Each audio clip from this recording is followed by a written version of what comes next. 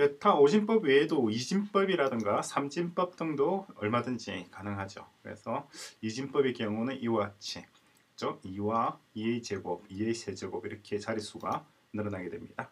그리고 삼진법을 넣고 오진법 우리가 살펴본 거와 마찬가지죠. 그래서 이진법으로 11011일 경우에는 어떻게 되나요? 첫 번째 1은 2의 4제곱, 두 번째 1은 2의 세제곱, 그리고 0은 2의 어, 제곱이죠. 2의 제곱이 제로입니다. 그리고 이것은 2고 이것은 1 이렇게 되는 거죠. 그래서 10진법으로 바꾸게 되면 이와 같이 바꿔지게 됩니다. 그렇죠?